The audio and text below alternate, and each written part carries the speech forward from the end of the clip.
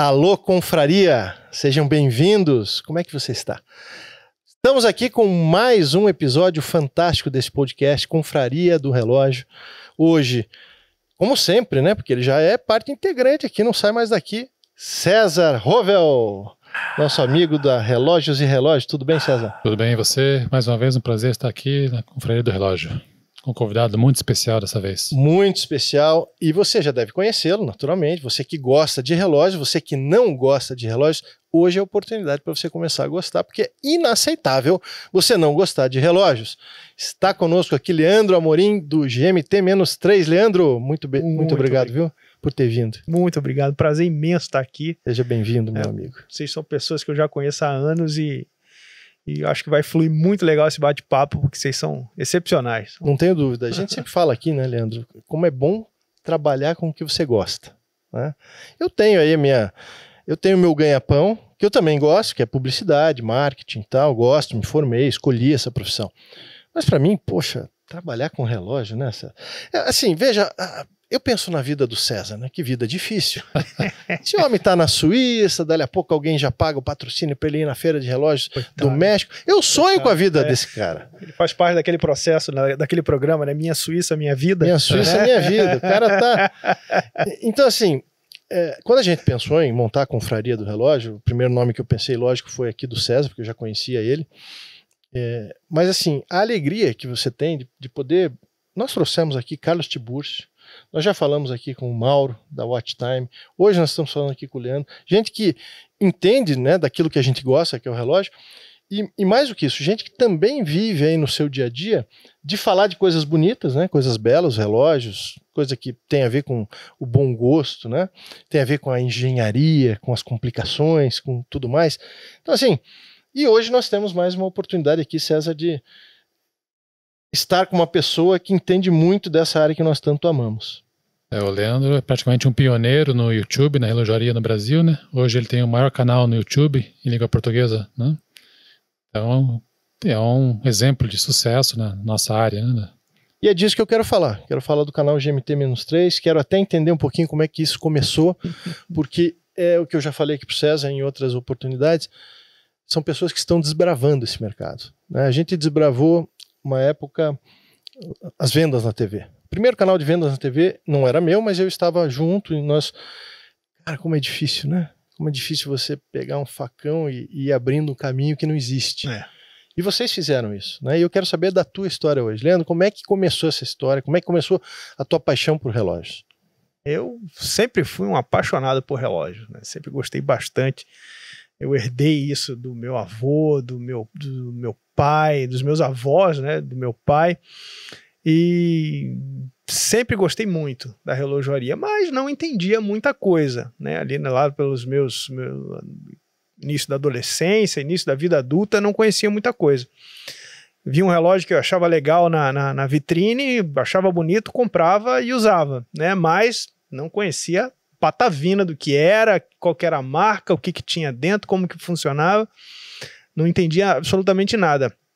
E aí começou a, a crescer essa, essa curiosidade de entender né, o que, que era aquilo, que marca que era, o que, que, que estilo que era aquele relógio, uh, ah, para qual profissão era indicado aquele relógio, enfim, comecei a entrar mais no mundo, né? E aí não teve fim, né? Dura até hoje essa, essa, essa paixão pela relojoaria. Cada dia que passa você conhece marcas novas, modelos novos, complicações novas. Então a gente vai ficando cada vez mais apaixonado. Né? Omega com o. o, o, o. É, não, é o Mega com, com esse modelo, o Repeater, né, do, ah, do tá. cronógrafo. Maurão, Maurão, um grande abraço pro querido Mauro, o Carlos também, que já teve por aqui, um grande abraço para esses queridos amigos. Mas como não se apaixonar por um relógio daquele, né? Então, é a engenharia no seu nível máximo para conseguir colocar algo no tamanho mínimo, né? Então, é algo que a gente vai entrando e quanto mais a gente pesquisa, mais a gente descobre que a gente menos sabe, né? e é uma área interessante porque as duas coisas são, são valorizadas, a tradição e a inovação. Exato. Porque tem áreas que é só tradição. Uhum Na relojaria, não. Os caras estão inovando toda hora, aparece um negócio diferente, um negócio novo, às vezes baseado em algo que já existe, Uhum. mas a inovação não é só criar algo do zero, né? Você tem várias formas de você inovar. E a relojaria tem disso, né? Sempre tem um lançamento que enche os olhos, alguma historinha maravilhosa, seja relacionada com cinema, seja relacionada com uma celebridade, seja relacionada com a NASA, né? No caso da Exato. Omega, você Aham. citou que é uma marca que está muito próxima, ou com aviação, no caso da Breitling, Bell Rose e, e tantas outras. Como é que você começou o teu canal? Por que, que é essa pergunta? Né? Você já deve ter respondido isso em, em vários outros lugares. Porque de repente tem alguém nos assistindo hoje, cara, até nem gosta tanto de relógio, Uhum. parou aqui por causa de, uma, de um cortezinho ali que ele viu, mas ele adora YouTube. E ele já sonhou, né? Tem tanto adolescente aí, o jovem, ou mesmo gente da nossa idade aqui. Nossa idade não, porque eu sou mais velho que vocês, mas um cara da minha idade, 50 anos, o cara tá pensando, tô de saco cheio da minha vida. Mas eu tenho conhecimento, tenho alguma coisa, um conteúdo para transmitir. E o YouTube, ou o Rumble, ou, ou tantas outras plataformas podem ser a minha TV, o meu canal. Coisa que há 10 anos atrás era impensável, 12 anos atrás, Uhum. mas hoje é uma realidade. Você vai dar uma lição de empreendedorismo para esse cara que está nos assistindo agora, Leandro. Como é que você começou e qual foi essa evolução até aqui? Já são seis anos, né? Isso, isso. Desde 2016 eh, já, já estamos ali mirando o sétimo ano. E foi assim, você, as palavras que você colocou assim foi, foram exatamente a, a minha sensação. Né? Quando eu comecei o canal, eu já estava com 40 anos.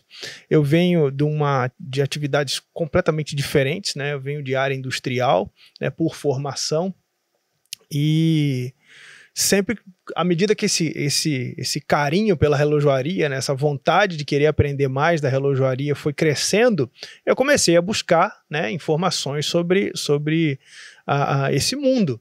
Né? E quando eu comecei a pesquisar mais a sério, lá por 2016, né, que foi quando a gente quando eu comecei a dar os primeiros passos, as únicas fontes de informação que a gente tinha era o site do Rovel, né, com todas as novidades, com tudo aquilo que era fantástico da relojoaria, e o fórum do Flavinho, Flávio do Relógios Mecânicos. Mas era assim, era, era texto, não tinha nada visual, né? Então, assim, a não ser as fotos, é claro, mas não tinha vídeo. Não era vídeo. Tinha, é, não, não tinha toda essa dinâmica de, de, de, de interação com o público que a gente tem hoje com plataformas como TikTok, aí entra Instagram, tudo. É, hoje é vídeo, né? A É, galera na quer época- naquela vídeo. época o vídeo estava engatinhando ainda. É, né? exato, exato. Tava bem, bem nos, no- nos primeiros passos, né? E aí eu falei, poxa vida, e comecei a procurar informações no YouTube sobre, sobre relojoaria. E não tinha nada no Brasil, né? Tudo que tinha aqui, que era algum camarada, por exemplo, ah, galera, esse daqui é meu Citizen, tô vendendo. Ah, esse daqui é da minha loja, que não sei o quê. Mas eu pensei, falei, poxa, é muito superficial, né? Não tem, é, é, não tem ninguém falando sobre de onde veio essa marca, qual é a história dela, o que, que ela fez de relevante para a humanidade, é, qual que é o papel dela, é um relógio caro, não é? Pô, eu gostei desse relógio, mas quero uma opção melhor, mais bacana, ou mais barata, ou mais cara, e não tinha nada disso. Aí eu pensei, falei, poxa, eu vou começar. Vamos botar aqui um videozinho aqui, um vídeo ali e vamos, vamos ver o que que dá, né? Qual E- foi teu primeiro vídeo, você lembra? eu fiz um vídeo falando sobre, sobre a minha introdução, né? Ó, pessoal, meu nome é Leandro Amorim e tal, tô começando um canal agora, quero convidar você a fazer parte, né? Já foi com saudações e complicações, né? Que esse daí, essa O bordão frase, já. é, o bordão já, já foi uma das primeiras ideias, eu falei, pô, o que que eu vou falar? Eu falei, ah, fala saudações e complicações, né? Eu tava na esteira da academia conversando com a minha esposa, ela tava do lado, eu falei, já sei qual é a frase do canal. Ela, qual? Saudações e complicações. Ela parou, o que, que é complicações? Aí expliquei pra ela, não, complicação, né? Toda função que o relógio tem, não sei da hora. Poxa, que legal. E o pronto. bordão é bacana mesmo. é, aí colou, né? E ficou, ficou até, até hoje. E foi crescendo e comecei... primeiro vídeo você nem mostrou o relógio, foi só Não. falar do canal. Exato, exato. Aí eu comecei, como eu não tinha, só tinha meus relógios, né? E os meus relógios não eram relógios muito bons, tinha ali um Seiko legal, tinha alguma coisa assim. Eu precisava é, é, criar conteúdos sem mostrar relógio que eu não tinha. Né? Então eu falei, ah, o que, que é um relógio mecânico? Qual que é a diferença de um relógio mecânico para um relógio quartz? Aí eu peguei um relógio de bolso que era do meu pai, um Omega, e peguei um relógio quartz, abri, coloquei lado a lado, falei, ó, essa daqui é a diferença de um para o outro. Aí com o que eu tinha. Né? Gravando com, com um tripé que eu montei, fiz lá um, uma maracutaia lá, uma gambiarra para montar um tripé. Já tinha uma câmera ou era celular? Não, celular, celular. Comecei com celular. né? Você tá vendo, você que tá É. assistindo esse programa agora? Você tá aí na sua casa pensando, não, para eu começar eu tenho que ter uma iluminação tal, eu tenho que ter um estúdio, eu tenho que ter um, um fundo infinito. um- Não é assim que as coisas grandes começam. Não, não. Não é assim. César, depois eu vou perguntar como é que você começou também, porque é uma história interessante, mas continua, Leandro. Ah, é- é- tem muito campo para abordar, tem muita gente sedenta de informação. Né? A gente não pode deixar se limitar pela nossa idade. Né? Se a gente falar, ah, pô, já tô nessa casa, não tenho mais nada, meu irmão, pode ser só o começo. Pode ser só o começo. Eu lembro de uma história, é, eu fui um- num, num hotel com a minha esposa em Joinville. Aí foi assim, antes de começar o canal. Aí a gente tava na piscina e tinha um moleque tomando banho, né, na, na piscina do hotel. Aí eu falei pra ele, ah, e aí, cara, não sei o que, eu dei, eu gosto de fazer minhas piruetas, né, da mortal, e quando tu faz essas palhaçadas na, na piscina, a molecada já cola, né? Aí, pô, tio, como é que faz, não sei o que, aí eu puxei saco, saco puxei é, assunto com o moleque, falei, e aí, qual que é teu nome? Ele falou, ah, meu nome é Max, nunca se esqueço, nunca me esqueço. Aí, falei, tá, e tu tá fazendo o que aqui? Ele falou, não, eu, tô, eu vim aqui com minha mãe, porque em Joinville tem uma escola do Bolshoi, né, a única escola do Bolshoi, né? É, Joinville é Rússia, capital né? da dança, É. né, do balé. fora da Rússia, ela é ali em Joinville, né? E eu falei, pô, é, cara, que legal. Ele falou, é, eu já, eu já, eu vou virar um bailarino. Aí eu falei, poxa, que legal, quantos anos você tem? Ele falou, tenho 11. Eu falei, como é que foi isso? Ele, ah, não, eu sempre quis ser bailarino, moleque com 11 anos, falando, sempre quis Que ser coisa, bailarino. Aí eu entrei em contato com uma moça de uma cidade aqui- de Joinville, falei com ela da minha vontade e tal, eh, escrevendo pra ela. Aí perguntei se ela podia me aceitar na casa dela. Isso, moleque de 11 anos falando. Aí ele falou, aí a mulher falou: "Não, tudo bem, pode vir". Aí, quando a moça deu o OK, eu chamei a minha, falei pra minha mãe, a gente tá vindo de São Paulo pra cá porque eu vou ficar na casa dela enquanto eu estudo no Bolshoi. Que coisa. O moleque falando isso, aí eu pensando assim, eu falei, esse moleque com 11 A gente anos pensa já que tem a vergonha, vida- né? É, não, o moleque com 11 anos já tem a vida toda dele traçada. Eu tô com 40 e não faço a menor ideia do que fazer da minha. aí o moleque me deu uma lição, cara. Aí eu falei, não, realmente não tem, não tem, não tem ideia, não tem idade para você começar. Aí vi alguns outros canais, buscava sempre informações em canais lá fora, né? A galera já, já mais, né, cabelo mais branco tal. Aí eu vi alguns canais aqui, não, não muito a ver com a relojoaria, não nada a ver com a relojoaria, também uma galera já tem também mais madura. Eu falei, ah, quer saber? Vou, vou fazer. Aí comecei. Mas foi uma caminhada difícil, né? Pensei em parar várias vezes, né? Mas Falei, quando você começou, eh, você pensava assim, cara, eu- um dia eu vou viver disso. Um dia eu, eu quero isso pra minha vida profissional ou eu vou Pensei. fazer como um hobby? O que que, que tava na tua cabeça? A ideia era progredir. Eu Tá. falei, vou começar com um hobby, né? Porque eu já levei várias invertidas da vida, né? Já tem um, um monte de CNPJ que nunca deu certo. Então, quando a gente começa a, a querer criar, a gente, sendo que você já falhou anteriormente, né, você fica com o pé atrás, né? Então você começa a falar, pô, será que vai ser igual aquela vez? Será que não vai ser? Será que vai ser? Será que não vai ser? Aí quando você vê que a curva ela tá subindo devagar, mas está subindo, aí você fala, opa, peraí, vamos, vamos prestar atenção nisso daqui que o negócio tá, tá indo, tá devagar, tá indo, pensei em parar, desistir, falei, ah, cara, isso aí acho que não dá para mim, mas aí eu insisti, fui, não, vamos colocar mais vídeo, vamos buscar, vamos melhorar, vamos trazer equipamento, vamos, vamos, vamos melhorar, vamos pegar o que os caras fazem de, bem, de bom lá fora e vamos tentar trazer para cá, vamos tentar fazer aqui. E aí fui, busca equipamento daqui, dali, arruma uma lente aqui. uma- minha esposa é fotógrafa, né? Eu falei, ó, a partir de agora tua câmera tá confiscada, vou precisar gravar as cenas, mas não era foco manual, era, não, era, não era foco automático, foco manual, tinha que ficar dando o dedinho para acertar Uhum. o foco. E aí foi começando. Aí a coisa foi engrenando, foi tomando, tomando proporção, e aí acabou que hoje é o, é o. Mas eu comecei realmente. A ideia era um hobby, mas eu não queria fazer aquilo. Ah, eu me vejo daqui a 10 anos. Não. Se é para dar certo, vamos fazer o negócio dar certo direito. Você citou teu pai e teu avô no começo. Uhum. Eles chegaram a trabalhar na área? Tinha alguma. Como que era? Não. Qual foi a nada. influência deles? Nada. nada. Gostavam. Gostavam. curtiam. Meu avô tinha um Mido cronógrafo lindo, que eu lembro cada detalhe daquele relógio. Que aí, quando meu avô faleceu, o relógio sumiu. Né? E aí, alguns anos atrás, eu tava as tias todas reunidas, né? Eu perguntei, ah, cadê aquele cronógrafo do vô? Cadê o mido do vô? Aí todo mundo, não, não sei, não sei, não sei, não sei, não sei. Eu falei, puxa vida. Eu tenho dois relógios do meu avô, né? Um, dois Orient, que era um do meu avô e um da minha avó.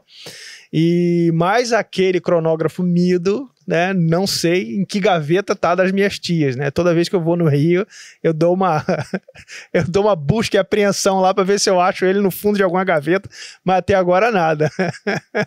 e quando que virou a chave, Leandro? Quando que você percebeu? Hoje você tem aí quase sete anos. Uhum. Não sei se tem esse momento claro na tua mente. Qual foi o vídeo ou qual foi o negócio que assim deu muito view nas tuas redes que você falou, cara, negócio vai dar certo. É. O canal ele teve um grande ponto de inflexão quando eu fiz um vídeo falando sobre o relógio do presidente, do nosso presidente que a gente, presidente Bolsonaro, né? Eu coloquei, eu falei semanas antes, eu falei, cara, tem que ver o relógio que esse cara usa. E no dia do resultado eu jogo o vídeo. É porque só vai estar tá falando disso, né? Então assim, se 2018. ele ganhar 2018, eu falei, se ele ganhar, Aí o negócio, aí eu acho que o, o, vídeo vai dar, vai dar resultado. E aí preparei todo o conteúdo. E aí quando a mulher, a, a Globo falou, Jair Messias Bolsonaro, presidente do Brasil. Eu, pô, enviar. Joguei. Cara, o vídeo, assim, deu, deu quase 70 mil visualizações num dia. Meu canal era pequeno, o YouTube tem o em alta, né? Então, quando você tem um vídeo tal, que tá sendo bem relevante, tal, ele vai pro em alta. Meu canal, meu vídeo só não foi pro em alta porque o meu canal era hum, tinha 2 mil é, inscritos. É, uhum. né? Menos de. tinha 1.600 inscritos. Mas foi assim. Em duas semanas eu peguei todos os dois anos anteriores e peguei em duas semanas com esse vídeo. Aí foi quando eu falei, bom, agora eu não desisto mais. Agora eu não paro. Agora eu vou fazer esse negócio dar certo. E depois você aproveitou outros hypes, assim, tipo, ah, o Bolsonaro vai se eleger, eu vou pegar esse relógio. Porque esse é um canal no YouTube, né? É, exato, é, exato. Esse é o canal no sentido não de canal uhum. do YouTube, mas é o canal de você achar o veio, né? Isso. E, e fazer, você pega lá uma celebridade, um negócio que tá em alta e todo mundo tá pesquisando. Você conseguiu outros, assim? Fiz, fiz. Eu fiz um vídeo que fez bastante sucesso, que foram os relógios dos ministros do STF. Esse vídeo. Aí Olha, se tivesse soltado um vídeo desse ontem, também ia fazer é, sucesso. Né? Para você que está nos assistindo, nós não estamos ao vivo. Imagino que quando você nos assistir, isso não vai fazer sentido nenhum para você. Mas para nós aqui hoje, fez sentido. aí eu fiz esse vídeo e coloquei. Aí passaram-se algumas semanas e o pessoal começava a me mandar é, é, cortes do WhatsApp. Ele falou, os caras mandavam um pedaço. Eu falei, Leandro, é você que tá falando aí? Tipo assim, aqueles vídeos que os caras cortam e jogam no WhatsApp, uhum. né? Aí eu falei, é, cara. Aí eu comecei a pesquisar e falei, cara, o negócio ganhou também outra proporção. Aí eu fiquei com medo, cara. Na moral, falei, cara, vão derrubar meu canal. Vão acabar com o meu canal. Esses caras vão derrubar o meu canal. Aí o que, que eu fiz? Eu tirei o canal, tirei o vídeo do ar. Aí com, com medo, né, de, de, de, do troço tomar uma proporção. Mas no canal, você, o que que se falava? Que, imagino que os relógios Só deles. Sobre... Ontem eu vi que o, que o Xandão tava com o Rolex maravilhoso. É. Então, assim, imagino que todos eles, eles Sim. não estão usando o relógio do é. nível do meu. É. Né? Que não é ruim, mas, mas não é do nível deles. é, por isso você, você tava com medo, assim, que, poxa, os caras estão usando um relógio de 500 pau e, e, e, vão vir em cima de mim? Foi isso que você pensou? Ah, o meu medo foi. No vídeo, eu não, eu não gosto de, de, de, de Por exemplo, eu, quando uma pessoa conversa comigo, dificilmente ela vai saber para quem eu vou votar, por exemplo. Eu não uhum. gosto de, de, de manifestar é, é, é a minha opinião política, política, a minha preferência política. Então, se você vê esse vídeo, você não vai saber. Não existe tom de crítica. Não é uma crítica. Exato. Uhum. É tipo assim, ó, poxa, o Caco veio hoje fazer uma entrevista e ele tá utilizando o relógio tal, só. E foi assim. É informativo ó, mesmo. Exato. Ó, o Alexandre de Moraes, ele é um cara que tem um excelente gosto para relojoaria, ele tem um Omega com, com, com a pulseira sensacional, Armadillo, a pulseira linda demais, o cara tem Patek Philippe, o cara tem Rolex. E foi assim, pessoas com excelente gosto para relojoaria. E uma coisa que as pessoas às vezes não se dão conta é que para o cara chegar a ser ministro do STF, ele teve uma caminhada que não foi pequena. Né? O que levou ele a ter aquele relógio, né? quais os meios, se escusos ou não, não me compete Não cabe a saber, nós, não né? cabe a nós, né? Mas assim, gabarito pro cara ter, o cara tem, na jornada que o cara tem, né? Tem cara ali, o- aqueles camaradas ali têm empresas no mundo todo, né? Então assim, usar um bom relógio para eles é natural. Só que quando eu fiz esse vídeo, Aí veio muito aquele negócio, ah, ladrão, ah, A o cara tá roubando, a galera, é, a galera, né, pô, não, tá roubando, não sei o quê, bandido, onde pode um absurdo desse. Aí os caras começaram a falar, Leandro, cara, olha esse teu vídeo aí, esse vídeo, não, e o vídeo, né, subindo, subindo, Bombando. subindo, subindo. Aí eu falei assim, cara, não sei, cara, acho que vão derrubar meu canal. Aí é, essa semana aí com esse negócio de eleição, eu falei, cara, eu acho que eu vou liberar de novo esse vídeo, porque tenho visto várias pessoas falando, várias pessoas falando, né, de, de, de, de, de, de relógio, né, o famoso Piaget do presidente lá, vi várias páginas falando, e não derrubaram os caras. Eu falei, então acho que eu vou liberar esse vídeo Eu de acho que novo. não vai rolar, não, não vai, esse problema não. Mas é, aproveitando, né, nós estamos Uhum. hoje aqui, é, hoje é uma quinta-feira, no próximo domingo é eleição, segundo turno para presidente. Você que está me assistindo agora já sabe quem é o novo presidente do Brasil, ou se é o mesmo, mas quem que vai ter o novo mandato ali em janeiro. Eu não sei. César não sabe, o Leandro não sabe, Não. então nós estamos aqui no escuro. Você que está aí no futuro, eu espero que seja um futuro bom. Mas também não interessa que, o que- em quem que eu vou É. votar. Né? Mas, Leandro, me conte.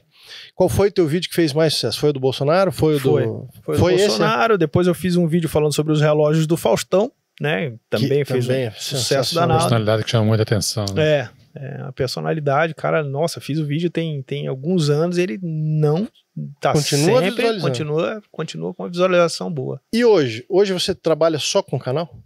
Só com o canal. Exclusivo. Full Já há quanto tempo?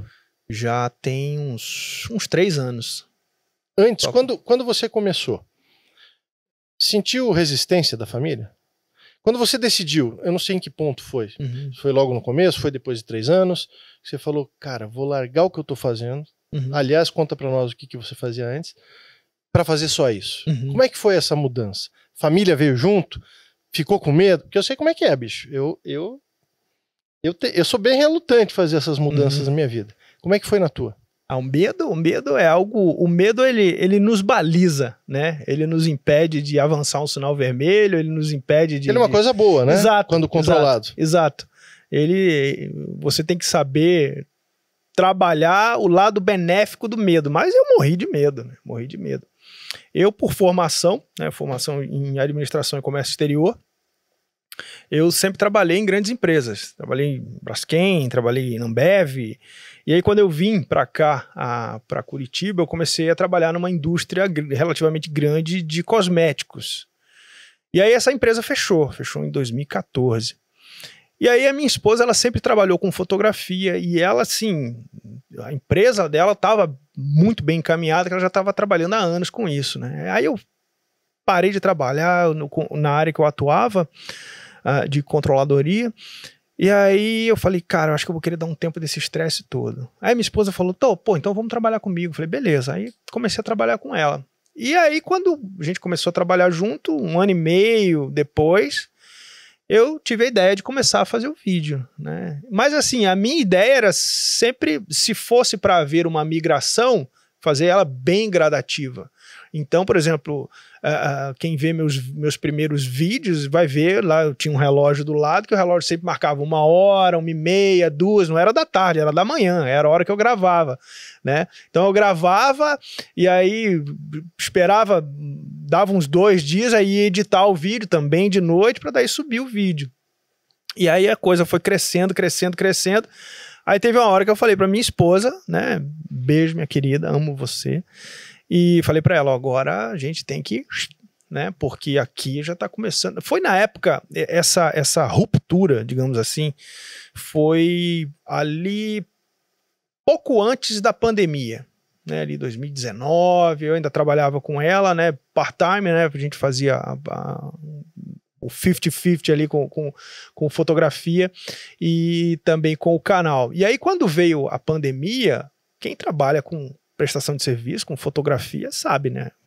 Ah, os eventos é, também é, acabaram. Acabou tudo, né? Então, casamento não existe mais, formatura. Formatura. É, é, é, minha esposa sempre gostou de fotografar a família, né? Então, assim, as mulheres não queriam mais ninguém em casa, não queriam mais sair com ninguém em praça, com medo de pegar doença, né? Medo de pegar é, essa doença aí. E aí o negócio morreu.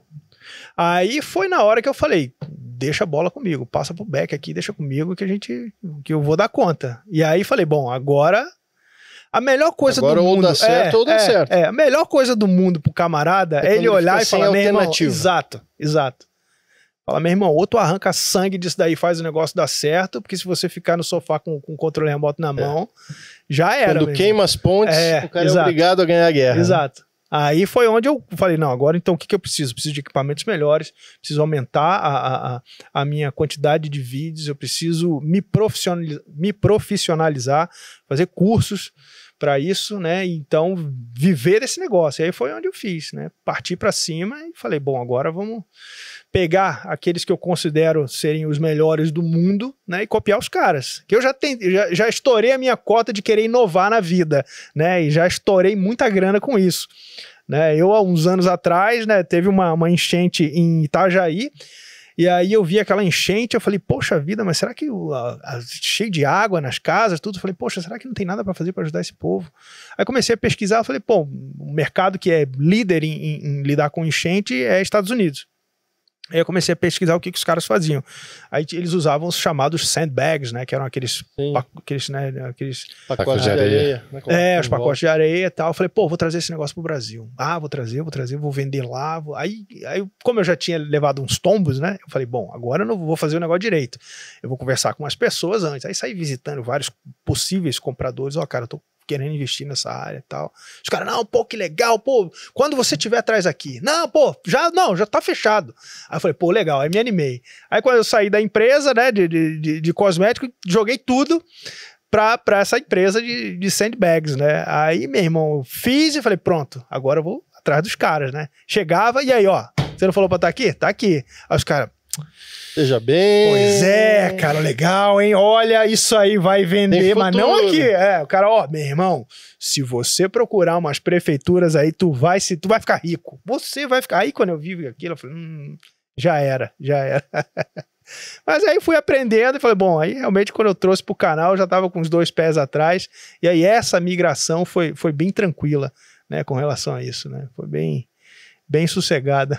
Como é que foi a emoção quando a primeira monetização caiu na tua conta? Ah, foi, YouTube. foi legal, foi legal. Porque eu. A, minha, a política de, de monetização do YouTube, quando eu estava prestes a monetizar, ela mudou. Né? Como tinha muita gente jogando vídeos de discurso de ódio e tal, toda aquela. aquela, aquela um pacote extremamente maléfico que a plataforma do YouTube estava combatendo, porque eles estavam perdendo bastante anunciante. Então os caras começaram a falar pro YouTube, ó, vamos tirar nossas marcas, que a gente não quer nosso nome veiculado a quem tá montando hum, coisa ruim, que tá querendo explodir alguma coisa. E aí mudou. Aí o YouTube falou: bom, agora então para você monetizar, você tem que ter pelo menos mil inscritos e 4 mil horas assistidas ao longo de um ano. 4 ou 40 mil horas assistidas ao longo de um ano. Aí eu falei, pô, agora, agora, agora ferrou, agora, não, agora, agora já era. Aí eu falei, não, vamos embora. Aí fui investindo, fui investindo, fui investindo. Aí monetizou, né? Passou uns dois anos depois, monetizou. Deu. Eles pagam no mínimo 100 dólares, né? Aí veio 106 dólares, né? Uau! Ah, esse momento deve ser muito legal, né? E quando chega aquela plaquinha em casa? Ah, eu já tô, olha, tô prestes a receber, prestes a responder essa sua pergunta. Tô com no, partindo para 94 mil. É muita gente, né? cara? É, 94. 100 mil já ganha, né? E 100 mil, 100 mil 100 mil inscritos, já já, chega já primeiro. manda a, a placa prata já. E como é que foi, assim, esse andamento do canal a partir da- do momento que você monetizou a primeira vez? É, tô te perguntando, eu trabalho com agência, então eu, eu sei um pouquinho desse mundo, mas de repente a pessoa que está nos assistindo não tem nem ideia. Quanto tempo você levou para chegar? De repente tem alguém nos assistindo que está pensando em fazer um canal, o cara conhece tudo de ferramenta, de uma coisa que trabalhou a vida inteira com Uhum. aquilo e ele quer transmitir aquele conhecimento, uma mistura de hobby com negócio, eu posso ganhar um dinheiro com isso, posso mudar a minha vida, e pode mudar mesmo, tem muita gente que mudou a vida com o YouTube, né? Uhum. E tá aí, é uma realidade. Quanto tempo levou para você, eh, assim, começar a, quem sabe, pô, posso viver disso? Foram uhum. três anos, mas e depois disso, a coisa, como é que cresce isso? Como é que é esse, esse gráfico, né? Uhum. É, até para a pessoa que começar saber que não precisa desanimar, né? Que, ah, pô, um vídeo funciona, o outro não. Exato. Né? exato. Não, não, são todos os vídeos que não, viralizam, não. né? Tem vídeo que você acha que vai falar, esse vai ah, arrebentar, ah, esse é tu ótimo. vai olhar, é. aí tá lá, décima posição, nona posição, aí dos, dos dez últimos, né? Aí é um balde de água fria. Eu quando, eu, quando eu decidi começar a falar sobre relógio, eu já sabia que ia falar sobre relógio num país que não gosta de relógio, do que num país que, por exemplo, é, num país não, aí essa regra já é, ela já é mais generalizada. Ah, o público feminino não se interessa muito por relojoaria, né, tem 6 a 7% dos inscritos são, são, são do público feminino, então a maioria estava produzindo para homens e de um, de um assunto assim que não é todo mundo que curte, né? Hoje a minha percepção mudou bastante, né? Porque eu vivo disso, né? Então eu vejo, não, realmente, talvez, eh, talvez seja até uma percepção meio equivocada por eu estar inserido nesse meio, mas quando eu comecei, eu falei, poxa, eu vou falar sobre um assunto que não é todo mundo que curte, né? Por questões, N questões, você vai, por exemplo, no Rio de Janeiro, você está andando no Rio, minha terra, você não vê ninguém usando relógio na rua. Né? Não é porque a pessoa não gosta, é porque ela tem medo de ser roubada. Né? Então, assim, tem a questão, várias questões socioculturais que levam a pessoa a usar ou não um relógio. Então eu sabia que seria um público muito nichado, mas eu sabia também que seria um público muito fiel. Né? Como graças a Deus, né, é, é, eu tenho a, a, primeira pessoa que, que, começou a me seguir fora a minha família, né, quando eu montei o canal, foi um camarada chamado Bruno, Bruno com dois N, e tá no canal até hoje, a gente se fala. Então, assim, eu sei que os caras, eles vêm, né, então a, a, o, o, percentual de saída do canal é muito baixo, né, porque o cara gosta e, e, e tá lá. Então, assim, se você encontra um canal, quanto mais nichado, mais difícil ele é de crescer. Isso é certo. Mas à medida que ele cresce, é um crescimento muito mais sustentável. Né? Você, é, as chances de você. É difícil de você montar a sua base, mas a partir do momento que você tem essa, essa base. É uma base forte. É uma base É como forte. uma construção. Exato. Quanto mais tempo você investe ali naquela. Naquela, fundação. Na fundação, mais firme vai ficar. Exato. Então, a minha dica é não desanime, independente do assunto que você buscar. Né? Tem muito canal legal, tem muita carência de informação no YouTube. Hoje, falando francamente, se você pegar o YouTube, 85% é conteúdo que você não vê. Você é, né? Tem muito lixo. É, muito lixo. Né? Gente tomando banho em banheira de Nutella. Cara, não é por. Né? É, enfim. Tem de tudo. E, né? é, e aí você vê esses canais, né? Dá aquela, né, aquela explodida, né? Aí você vai lá, não, você tem que pegar o teu assunto e vai lá, bicho. Vai lá, vai lá devagarinho, faz, faz o teu, não, não, não espera que aquilo ali vá te deixar rico, porque muito provavelmente não vai. Não a médio prazo, não a curto, médio prazo, mas existem assuntos, por exemplo, que o desempenho é muito maior, né? Por, né? por exemplo, você falar de aviação, Hoje a gente tem grandes canais de aviação no YouTube, mas eu tenho um grande amigo meu, Gabriel Toledano. Ele, quando ele começou o canal dele, em seis meses ele bateu o meu, que já tinha anos já. Né? Então é, é, é existem assim áreas de interesse que são bem legais você você pesquisar. Mas assim, quanto mais nichado for, vai ser mais difícil, mas vai ser mais você chegou a investir dinheiro em impulsionamento no começo ou não? Não. Era só o que vinha não, organicamente? Que vinha. É. Não investi Legal. porque não tinha, né? Não tinha grana. Por isso. Aí hoje é, é, é, as, as, coisas tomaram uma proporção bem legal, né? Então eu também não continuo não investindo, né? Porque a minha, a minha principal métrica é quando um camarada vê a quantidade de visualizações que eu tenho, a quantidade de seguidores que eu tenho, a quantidade de, de likes que eu tenho, aquilo precisa fazer sentido. Então não adianta nada eu, por exemplo, pegar um vídeo. Uh, uh, uh, existem os impulsionamentos fora YouTube, né? Que você compra view, compra e muita gente faz isso, né? Às vezes eu vejo lá no Instagram, ah, fulano começou a te seguir, tu vai olhar lá 100 mil inscritos, cara, pô, esse cara é forte, hein? Aí você vai olhar lá a quantidade de like do cara, é 40, falso, é, 30. Falso, é. Aí a, a minha principal percepção de querer passar, aí já profissionalmente falando, né? Pro, já, já o meu cartão de visita para um parceiro é que o cara vai ter aquele número, mas, cara, é isso aqui, é isso aqui dá resultado. Tá. Não, mas eu digo impulsionamento não no sentido de comprar views, né? Mas o impulsionamento no sentido de, por exemplo, você pegar no teu canal do, do Insta Uhum. e divulgar o teu vídeo com grana, impulsionando. Ou no, no próprio YouTube é possível, né? Você fazer propaganda, Anúncios, anúncios, né? É, tudo mais. é. Isso você nunca fez. Não, porque Que legal, é, eu nunca vi, assim, no YouTube propaganda de canal. Eu já até pensei, falei, pô, aquelas propagandas no começo, né? Falei, pô, ó, galera, se você gosta de, de, de, de, de relógio e tal, conhece meu canal e tal. Não pensei nisso, mas eu já penso, por exemplo, a minha loja, né? A loja que eu tenho lá, os meus relógios à venda, aí eu já penso nisso, né? E impulsionar dessa forma. Como é que tá rodando a loja? Tá começando, né? Você começou quando? Eu comecei tem uns dois anos e ficou muito tempo adormecida, né? Porque eu vivia eternamente naquela, naquela, naquela encruzilhada. Ou eu compro equipamento pro canal, ou eu compro relógio para vender na loja. E eu sempre parti para equipamento. Falei, não, vamos investir, vamos investir em equipamento. Tanto que hoje eu tenho muito mais Que empresas você interessadas. tá vendendo ali? Tenho Cássio, eu tenho, tô trazendo Seiko, tô trazendo Orient, tem algumas marcas de fora, como a Alsta, por exemplo, uma marca escocesa muito legal. que Os caras apostaram no Brasil, eu tenho a Península Instruments, e aí tem uma infinidade de outras marcas que a gente vai conversando para trazer para cá, mas aí já são investimentos mais altos, né? Então eu aprendi também uma grande lição na, na, na minha loja: é você fazer o feijão com arroz. Cara, não queira trazer aquela marca eslovena, linda, maravilhosa, só que ninguém conhece, né? Para cá achando que você vai arrebentar de vender, porque não vai.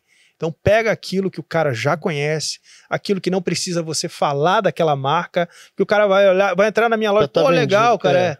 Olha a só. marca já tá vendida, o cara só Exato. tem que decidir comprar exato, de você, né? exato. Deixa para inovar depois. Né, que você já tiver, tipo assim, ó, já dá para respirar. Agora a gente vê uma outra marca. Me fala o tá? endereço da tua loja. A gente vai repetir no final do programa, mas eu quero que você fale já, porque de repente já tem gente querendo conhecer. Legal, lojagmt.com.br. lojagmt.com.br. É. Então, já sabe. Bem fácil achar. César. Pra perguntar pra esse cara, hein? Meu primeiro entrevistado do canal, hein? Ah, foi ele, né? Foi ele, foi Começou ele. bem. Foi, foi, foi. Cezinha.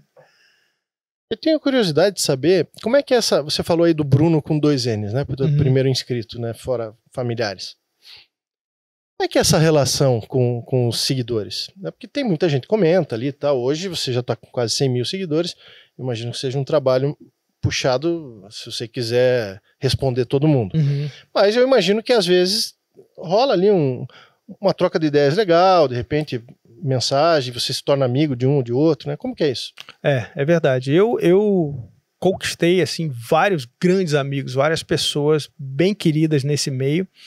E eu nunca quis que o canal fosse assim uma via de mão dupla, uma via de mão única. Né? O camarada chega ali, clica no play e vai ver eu falando sobre um relógio. Nunca quis isso.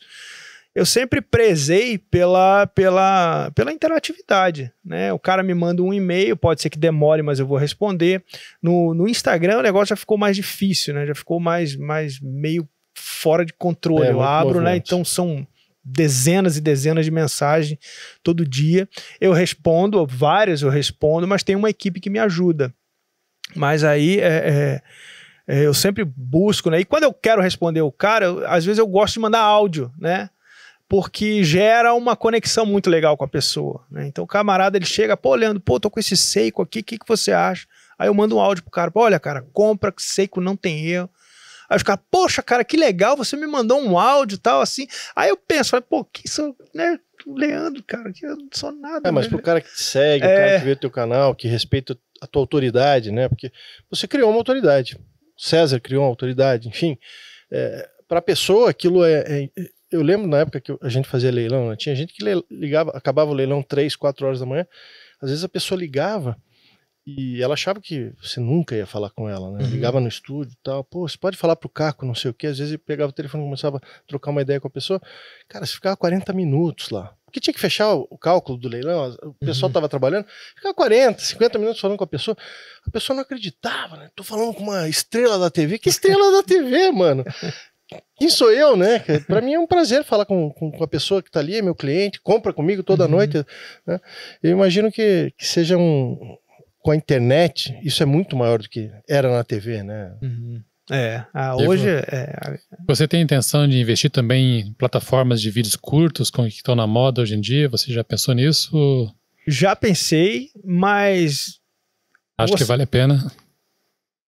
Sim, eu fiz alguns vídeos, mas assim, você não passa muito conteúdo, né? É complicado. É, é, é aquele consumo. Na área do rápido, relógio, né? né? Exato. É complicado. Exato. É, é, um, é um círculo vicioso, né? Esses, esses, essas mídias sociais em que você assiste uma cena e ela só não é mais interessante do que a próxima. Né? Então o cara vê aqui tá só com o dedo lá. Por isso que a, a, quantidade de pessoas que se inscrevem também diminuiu bastante por conta disso. Né? Se você, os próprios algoritmos, né, já fazem esse trabalho por você. É, você não precisa né? estar necessariamente. Exato. Você vê lá relógio, você começa a pesquisar de relógio, aí o, o, aplicativo vai começar só, só te mandar relógio. Então você não precisa se inscrever lá no GMT-3 e tal. Não sei que você queira algo né, bem específico. Então, é, é, é, esse tipo de, de, de, de, interação é bem interessante. Eu acho, mesmo com esses entraves, mas eu acho legal. É, você tem que. Eu sei que o YouTube ele não é eterno, uma hora ele vai ser substituído. Né? Então você tem que estar atento para as novas, os novos formatos, as novas mídias. Fazer e... os testes, exato, experimentar. Exato, né? exato. Porque aí é a hora que fala, ah, galera, YouTube virou é o novo Facebook, né? Que hoje eu entro no Facebook uma vez a cada seis meses, né? Eu nem entro mais, eu é. fui E antes você tinha o Orkut, o Orkut parecia... Orkut, o... Nossa, tipo assim, né? Caraca, Parecia pô, insuperável É, aquilo, né? lembra, cara? Era, era a época do Orkut. É, o Facebook é. hoje, sim, para negócios, né? Eu tenho ali na agência, muita gente me procura, o cara nem quer. Não, nem põe, não, mas eu, o preço é o mesmo. Com o Facebook eu sei. Faz trabalho, parte do pacote, mas... Parte, não, não, não quero, cara. Nem, uhum. nem ponha. Então, assim, depende do, do produto, ainda vale a pena, alguma coisinha ou outra e tal. Mas é, é, é, isso, né? Foi uma curva louca lá em cima e. Só que o cara já, sabe, já, já tinha sacado isso, por isso que ele comprou o Instagram, por isso que ele é. foi atrás do WhatsApp, não é bobo, né? É mas eu acho que essa experimentação, né, você testar, é muito difícil o relógio, eu já pensei nisso também. É muito difícil até você fazer um rios, né, legal, assim, pô, em um minuto, cara. É. Eu vou falar do relógio, só vou mostrar ele, né? Exato, exato. Pô, você mostra, conta ali um, uma curiosidade. Escreve uma coisinha outra, ali, é. é uma história muito rápida mais como um teaser, talvez, né? É, exato. Pra você chamar para Aí funciona. Ó, clica aqui no link e vem ver o relógio, a história dele e tal. Aí funciona, aí dá certo. Já vamos aproveitar aqui, ó. GMT-3. Inscreva-se no canal. Porque por mais que hoje o algoritmo entregue para você aquilo que. A, a comida que você quer consumir, você ajuda a gente, cara. Ajuda bastante. Você está assistindo a gente aí? Faça você não se inscreveu ainda no Confraria do Relógio? O que, que, você está fazendo aí que você não se inscreveu? Por favor, nós começamos agora. Estamos começando agora. Talvez esse seja o, segundo, terceiro vídeo que você está assistindo aqui no nosso canal. Inscreva-se para nós, faz a maior diferença. Esse cara aqui está com quase 20 anos já na, nesse ramo. Também ajuda. Vai lá na página do Instagram dele, Relógios, relógios e Relógios, relógios no, no, o site dele. Enfim, ajude né? Porque da... hoje nós estamos aqui, você também foi assim, né, no teu começo. Hoje o César, graças a Deus, vive da arte dele, que é falar de relógio e fala com maestria. Você vive da sua. Esse canal aqui não vive de nada ainda. Nós estamos só botando dinheiro aqui, só correndo atrás. Mas você teve aí três anos que você levou para para começar a ter alguma coisa. César talvez tenha levado até mais tempo do que isso, me lembro lá no começo. Cara, aonde o César chegou, que hoje está todo mundo de terno e gravata e perfume francês, era só mato. O cara chegou realmente desbravando. Ajude esses caras. Esse canal, graças a Deus, hoje, a gente não depende dele para viver. Mas se a gente puder, é óbvio, né, que quanto mais retorno ele te der, mais tempo você pode dedicar a ele. Né? Quanto mais você puder viver daquilo que você ama fazer, mais tempo você pode colocar naquilo, a qualidade acaba, acaba melhorando. Aperfeiçoar o conteúdo. Tudo né? vai exato, sendo aperfeiçoado. Exato. Se você olhar hoje o primeiro artigo que você escreveu no teu site e, e, olhar o último que você escreveu, qual foi essa evolução, né? Mas essa evolução só é possível porque você hoje pode viver disso. Mesma coisa o, o teu vídeo, Leandro. Uhum. O teu primeiro vídeo é o que você falou eu tive que investir em canal. Uhum. Eu tive que comprar equipamento. Eu Uhum. tive que começar. No começo era celular, depois eu peguei a câmera da minha esposa, Uhum. depois a gente comprou uma lente, não sei das quantas. E assim vai, né? Então, inscreva-se. Relógios e relógios. Vai lá no, no- no Instagram dele. Vai no site do César, relógiosrelógios.com.br. É esse o endereço, né? relógios.com.br, Instagram, relógios, relógios BR. Fala os teus canais, por favor. GMT-3, tanto no Insta quanto no YouTube. Você não tem site, TikTok. você tem, você tem a a venda, É, né? Exato. Lojagmt.com.br. E o Leandro também tem uma marca de pulseira própria, né? Tenho. Trimix. Opa. Ah, garoto. Fala é, dela. É, foi uma, uma- Muita gente me pedia, né? Pô, Leandro, é tão difícil de ter acesso a boas pulseiras aqui no Brasil. é, principalmente bracelete, né? Beads of Rice e tal. Aí eu falei, não, então eu vou, vou trazer. Aí comecei com a Trimix. Deixa eu dar uma olhada. Essa é em Canva, que combina melhor com esse estova. E você tem, e você tem em vários materiais ou todas são em Tenho, não, tem vários materiais. Tem legal, inox, tem tecido, Tem borracha, nato. né? E aí? Bacana. Bem bonito. tá nascendo aí a, a marca. Bonita a pulseira, hein? É, legal, valeu. Combinou muito você bem vê com que o é resistente, né? Só de pegar você vê que o material é, é bom. E como é que tá isso? Como é que você começou com, com esse negócio há quanto tempo? Comecei tem. Cara, eu acho que tem uns dois, três meses. Tá na loja lá também. Tá na disponível. loja, tá na Vários loja. modelos? Vários modelos, vários modelos. E aí eu comecei na loja mesmo, tem um mês e meio mais ou menos. Eu vou ser teu cliente, porque eu tenho um problema muito sério que eu suo É. muito. Então, as únicas pulseiras de relógio que eu não estrago são as de, de metal. né? Uhum. As de borracha, elas não estragam por causa do suor, mas ela- com o tempo a, a pulseira de borracha acaba se deteriorando, né? De alguma forma. Uhum. Mas pulseira de couro, pra mim, cara, eu amo, mas eu estrago todas. Cara. Se eu for fazer uma palestra, quero colocar, ou vou pregar, às vezes eu prego na minha igreja, vou, vou colocar um relógio de pulseira de couro, eu suo loucamente, acabou aquele relógio. Né? Ela vai ficar com a pulseira manchada, suja.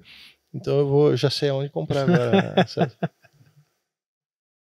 Boa variedade, né? Materiais, todo para qualquer tipo de relógio. Satisfação garantida, o seu dinheiro de volta. Qual é o teu xodó? Qual é o teu relógio que você mais gosta? Seria Ai. aquele do teu tio, que ninguém, do teu avô, que É, o ninguém acha. Mido. É. Seria o Mido, É né? o Mido, né? É. Mas esse ainda não tá na, não não tá ainda na não, tua não posse. descobri qual tia escondeu ele em qual gaveta, né? Tô nessa, nessa luta ainda, né? Mas, nossa, são o, o relógio assim, dos sonhos que eu tenho ou que. Não, o que você tem, e depois eu quero saber qual é aquele que você tá. né? Ah, Namorando. Quando o meu canal chegar em um milhão de assinantes, aí É. eu vou comprar aquele relógio. Pô, aí, aí, aí sim, hein? Olha, eu tenho alguns. Eu tenho o Seiko Pog, que eu sou apaixonado por ele. Tenho esse Stova, que ele tem uma história muito legal também. Que ele foi para São Paulo, depois ele voltou, né? Foi o, o relógio mais caro que eu havia ganho para fazer review, né? Que foi esse, esse Stova. E aí ah, veio com uma taxa, um imposto para pagar que era um absurdo de alto, né? E eu não tinha grana para pagar na hora, tal, e eu fui enrolando a FedEx, aí paguei depois, aí, enfim, vim, é, é, recebi o relógio, fiz o review, e aí já fiquei, pô, tem que vender o relógio antes da fatura do cartão de crédito chegar. Daquela lapada foi forte. Aí foi pro, pro Felipe, um grande amigo meu agora, né? Que ele é um advogado lá em São Paulo, ele ficou. Você vendeu através do canal, colocou no canal para. É, eu coloquei na, na loja para e vender, exato. Coloquei pra lá, né? Pedindo a Deus. Falei, pai, me ajuda a vender esse relógio logo. E aí, cara, graças a Deus, vendi, foi pro Felipe. E aí, quando eu trouxe o- o- o- os Alsta para vender no Brasil, né? Trouxe uma edição GMT-3, né? Ele entrou em contato comigo, né? Falou, pô, Leandro, tô apaixonado por esse Alsta GMT-3, que é o laranja. Mas eu não pensei duas vezes, foi assim, de pronto. Cara, eu troco no Stova. Aí ele falou para mim, eu vou te mandar o Stova, esse relógio tem que ser teu, cara. que é o, o carinha que eu tô usando aqui. Tem o... Me fala um pouquinho dessa marca, antes de você falar do outro relógio que você ia falar. Ah, legal. Isso aqui é um, é um Flieger do tipo A, Stova. Ele é de uma marca que, na época da, da Segunda Guerra Mundial, a Luftwaffe pediu para cinco empresas desenvolverem o modelo Flieger, né? E aí foi a Stova, a Lange, a IWC, a Laco e a Vemp, né, professor? Acho que foi a, essas cinco que fizeram os, os Fliegers, né? Veio o tipo A até 1942, que foi substituído pelo tipo B. E aí eu sempre fui apaixonado por esse estilo por causa da. da, da, da, da, da é, você tem aqui toda a praticidade alemã, né? Um relógio que ele não tem absolutamente nada além do que precisa ter. Né? Ele é super legível, Funcional. funcional, prático, é um relógio pragmático. É né? a cara Como do relógio alemão. militar, né? Exato, Espartano. exato, Não exato. tem Para complicações não muito. distrair o piloto, Exato, né? exato. A ideia. É, nada. Tanto que quando a, a Luftwaffe quis criar, um modelo que eles tentaram é, adaptar foi aquele do Lindbergh, né? O Longines do Lindbergh. Só que Longitude. hoje, você é, é, você tomando um, um café na sala da tua casa é difícil para você ver a hora naquele relógio. Dirá você num cockpit de um bombardeiro alemão tomando chumbo né, lá de baixo. E aí a, a Luftwaffe não, não, não, topou pela falta de, de, de, de, de- de- de praticidade do relógio. O relógio tem uma história fantástica, um relógio que ajuda bastante, ajudou bastante ele a atravessar o Atlântico, né? Que ele conseguia fazer os cálculos ah, ah, com a utilização do relógio.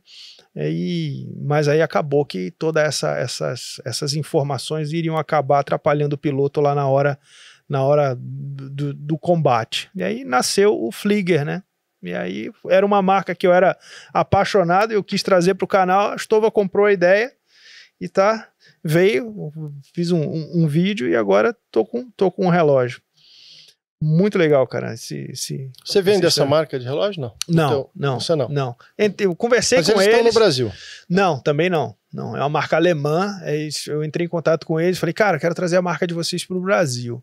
Aí os caras, pô, cara, Brasil, é, é, marca lá fora, vir pro Brasil, né? Assim, é, é louvável os caras que têm coragem Tem de fazer coragem, isso, né? É. Porque os caras falam, cara, é um mercado difícil. O pessoal é, é, é- é complicado. Camarada, a gente manda o relógio, aí dá imposto para pagar, o cara não quer pagar imposto, aí cancela o cartão, aí vira um caos pra gente. Falou, a gente nem manda pro Brasil, para ter uma ideia. E aí eu lido com isso com várias marcas, né? Mas a minha ideia sempre foi trazer é, oficialmente, né? Distribuir oficialmente. Mas aí algumas marcas falam, ó, ou não tem interesse, ou então falam, ó, cara, eu te dou 20% de desconto no preço retail do, do, do site. Mas ainda assim, né? Se ter 20% a menos, você joga ali 80% vezes 2, aí fica, ninguém aqui com a carga de imposto, você Dobra, vai é. pagar ali exato, é 104, 105% no mínimo. E aí fica muito alto, né? Então acaba não, não compensando você trazer um relógio que vai custar né, mil dólares lá fora para você comprar. Aqui vai chegar dois e meio, né? Então aí fora, né, vai, vai te custar isso, né? Aí entra o camarada que vai querer frete grátis, vai querer pagar em 10 vezes, vai querer, né? E aí acaba, você quer atender o cara, né? Porque é um mercado que se, se, se habituou a isso, né? Você comprar um relógio em 10 vezes, é, é, então, mas você precisa absorver esses custos, né? Então, e repassar, né? aí acaba ficando muito caro.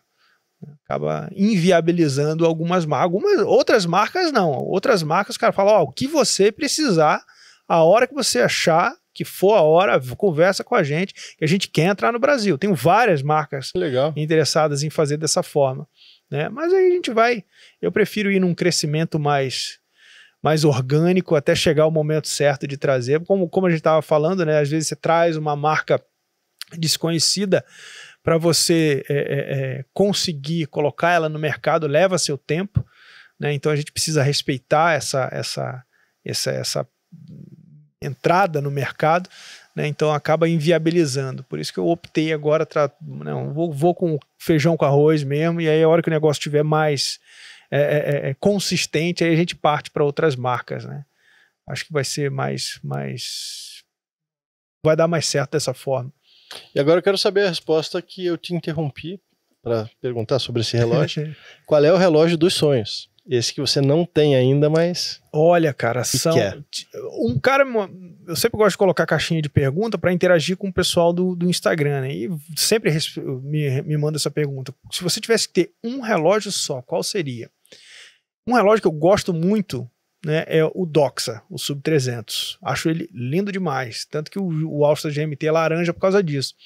Mas ele não é um relógio tão versátil quanto, né? É um relógio que, se você vê o cara com um relógio laranja o tempo todo, fala, pô, o cara só usa aquele relógio. Verdade. Mas é, é, eu gosto muito do Deep Sea, do Rolex Deep Sea. O É submarino maravilhoso mesmo. on steroids, né? Aquele visualzão É bonito. junkie, né? O- é, seria um relógio, tipo assim, ó, se tivesse que abrir mão é, é, é, de usar, usar só um relógio, não abriria mão desses relógios, né? Mas se você tivesse que usar só um relógio, eu acho que eu iria nele. Eu gosto bastante do aspecto funcional, ele não é um relógio é, é, é, snob, né? É um relógio para cumprir um propósito. né? Robusto. Então, exato. É um tool watch para você daqui a muitos e muitos anos deixar para tua descendência e o relógio vai estar funcionando do mesmo jeito, né? Com, com, a mesma precisão e com a mesma beleza, né? Que você vê o sub tá aí há 70 anos e não muda muita coisa, né? Então várias marcas, né? O 50 Fathoms, né? Eles sempre é, é, é, o Speed, né? O mercado de relojoaria ele é muito conservador, né? Assim, são poucas as marcas que querem. é, é, existe a ousadia, né, em termos de, de, de complicações, mas no aspecto visual, uma marca para querer mudar aquele, aquele, aquele flagship ali é, é brabo, né? Os caras eles, eles se, se seguram bastante, né? E às vezes fazem umas burradas, né? Como o Sprite, né? Por exemplo. É, As grandes marcas em geral são conservadoras, né? Então você tem mais inovação em marcas menores que também tem menos a perder, né? Caso de- Exato. se não der certo. É. Mas as grandes são bem conservadoras. Omega, Rolex, Cartier. César, aproveitando aqui teu conhecimento, que, que, que marca que você diria hoje que dessas que talvez o grande público não conheça? Porque quando se fala de Rolex e Omega, são as duas mais conhecidas do mundo. Quando você fala de, de Hublot, né, os caras investem também uma, uma baba né, em, em publicidade e, e esportistas e celebridades. Mas qual seria uma marca que talvez não seja conhecida do grande público e que você conhe que você considere assim Cara, essa é inovadora. Essa faz coisa diferente. Essa faz um movimento diferente. Ou é inovadora no design. Qual marca que você admira nesse sentido? Ah, tem muitas marcas pequenas, independentes, né? Que dificilmente você vai ver numa loja, não só no Brasil, como em outros lugares também, que onde normalmente a inovação se encontra, né? Pra, na forma de você ver, mostrar as horas, você inventar complicações. E como são fabricadas em quantidades muito pequenas também, né? É, são exclusivas. Então eles podem inovar porque eles vão fazer pouco também. Se alguma coisa der errado, fica mais fácil, né? Para uma marca grande apostar numa grande inovação, ela está arriscada a perder muito dinheiro. Né? Então eu digo, tem muitas marcas é, hoje em dia, MBF, Urwerk, MBF é muito legal. é, Debetune, por exemplo. Né? Betune. mas que realmente procuro inovar não só em materiais, como também em design, que realmente são marcas inovadoras. Né?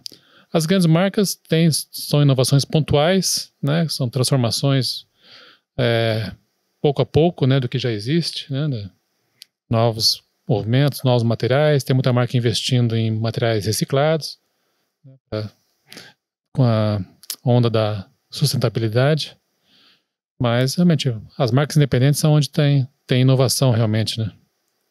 Eles não têm tanto a perder, né? Se der um, Sim. se der um problema, não tem É. tanto a perder. E são marcas que têm um público muito fiel, né? São um público muito fiel que sempre está querendo. Algumas Ah, até tá, atrás. tá tudo vendido já, né? Sim, o que é os caras verdade, produzirem tá vendido, É. né? Não importa.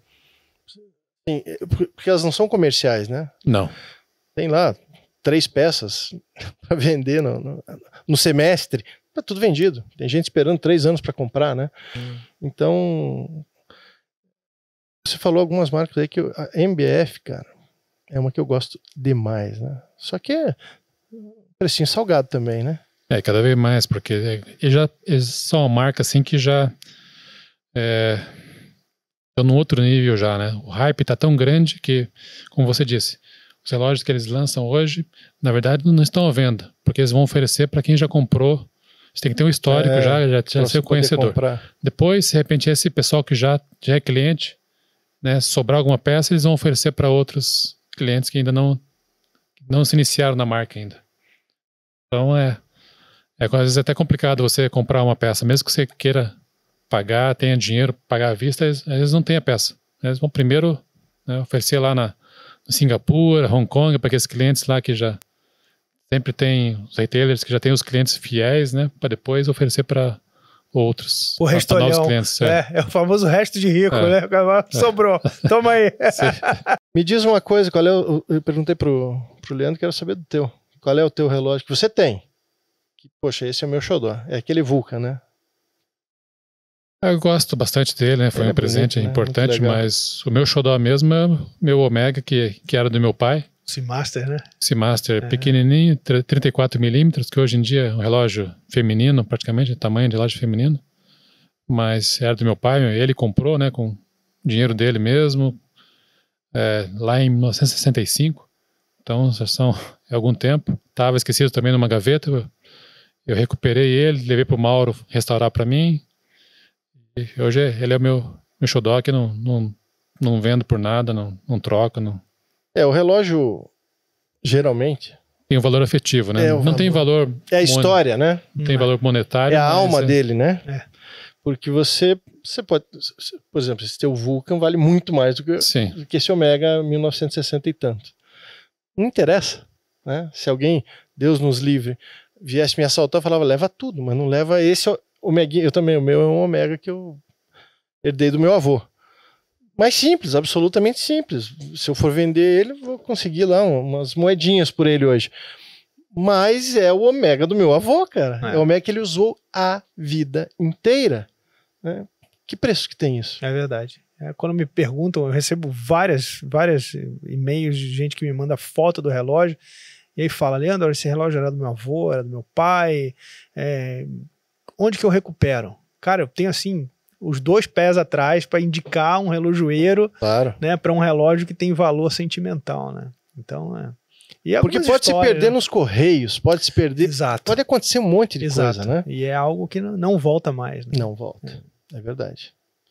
Gente, o papo tá bom, mas chegamos na nossa hora aqui. Vou aproveitar. Você que tá aí agora, prepare-se para dar o print screen ou anotar aí do jeito que você quiser. Fala de novo os teus canais GMT-3. GMT-3, fuso horário principal do Brasil, que batiza o canal. O canal GMT-3, a- o Instagram GMT-3 e a nossa loja lá, lojagmt.com.br. César, obrigado pela tua presença. Obrigado a você. Mais uma vez um prazer estar aqui. Muito obrigado ao Leandro por ter atendido ao nosso convite. Imagina, é um prazer. privilégio. Todo- Enriqueceu o o privilégio é programa todo mesmo, meu. Muito obrigado. Estar cara. na presença de vocês, agradeço demais. Fala do relógio de relógios. relógiosrelógios.com.br, nosso site, relógios e relógios BR, que é o nosso Instagram. Eu não tenho nada para você me seguir. Meu Instagram deve ter uns 200 amigos lá e mais ninguém. Então, siga a Confraria do Relógio. Instagram, Confraria do Relógio. E aqui no YouTube, se você não se inscreveu ainda, por favor. Gostou desse papo nosso aqui? Manda para os teus amigos, compartilha, conta. Aquele cara que gosta de relógio e não está aqui, não conhece, avisa todos. Não gostou? Achou que o nosso papo foi muito chato? Manda para os inimigos, compartilhe com os inimigos, você vai estar nos ajudando também. Critique aqui embaixo nos comentários, não tem problema nenhum. Eu quero engajar com você. Nosso canal é pequeno, eu garanto para você que nós vamos responder. É diferente, né? 93, quantos? 97 mil já? 90, 94. 94 Precisa uma mil equipe já, grande cara. já, né? Aí não dá, aí precisa ter um time todo. Mas aqui eu e o César nós vamos dar conta, vamos responder todo mundo. Mesmo você que falar mal da gente, não tem problema. E me conte, você que está aí no futuro, quem ganhou as eleições de domingo, eu que estou aqui nessa quinta-feira anterior ao segundo turno, quem ganhou as eleições. Muito obrigado, confraria, e até o nosso próximo encontro. Até mais. Obrigado, Obrigado Leandro. Obrigado, Grande César. abraço, gente. Deus Obrigado, abençoe Leandro. Valeu, valeu.